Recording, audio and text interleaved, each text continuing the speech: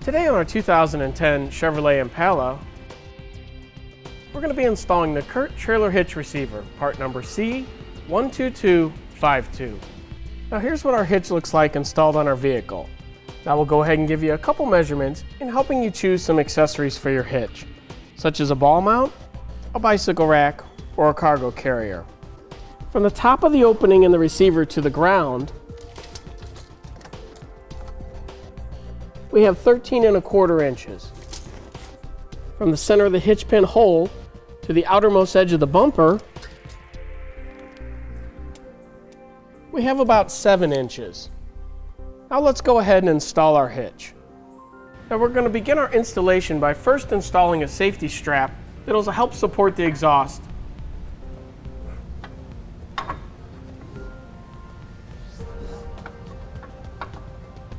Next we're going to need to remove three rubber exhaust hangers.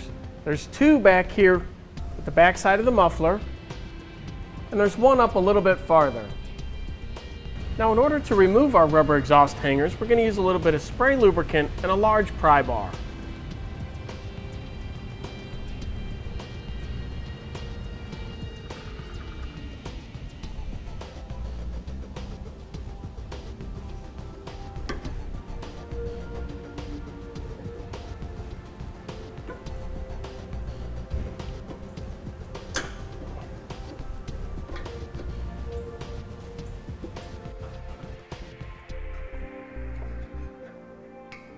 Next we can go ahead and use our safety strap to go ahead and lower the exhaust down out of the way a little bit.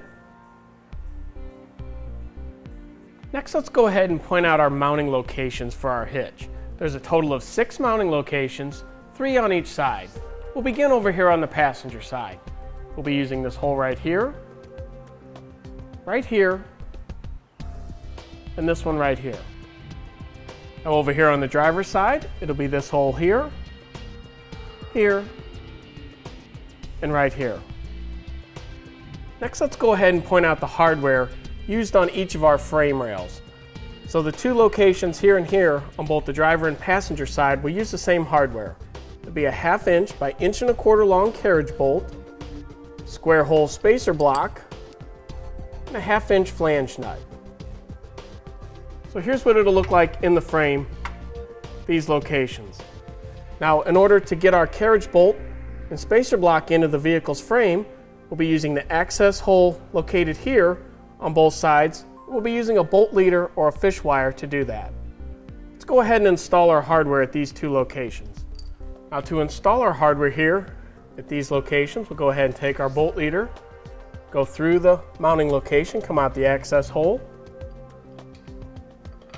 take our square hole spacer block, followed by the carriage bolt. Put those both on the bolt leader. Push them both up into the vehicle's frame and pull down into position. We'll go ahead and repeat the same process at this location as well as the two over on the passenger side.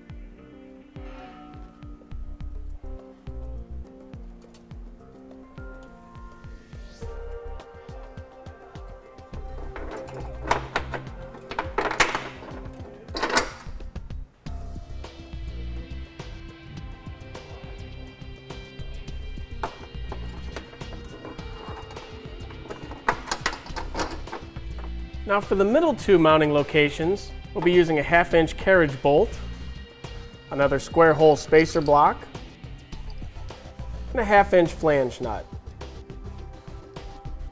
It'll sit up in there like that. Now in order to get the carriage bolt and spacer block into this mounting location, we'll be using this access hole here. We'll again be using the fish wire or the bolt leader go ahead and install our hardware at these two locations. So we'll go through the mounting location, then come out the access hole, take our square hole spacer block, put it on the bolt leader, followed by the carriage bolt.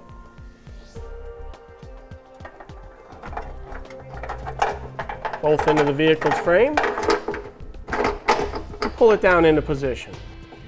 Go ahead and repeat the same process over on the passenger side.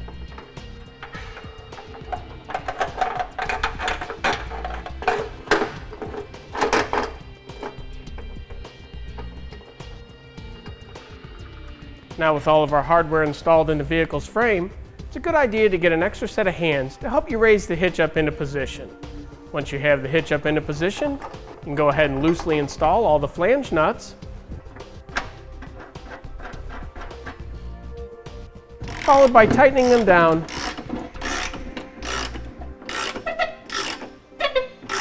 and then torquing to the manufacturer's specification.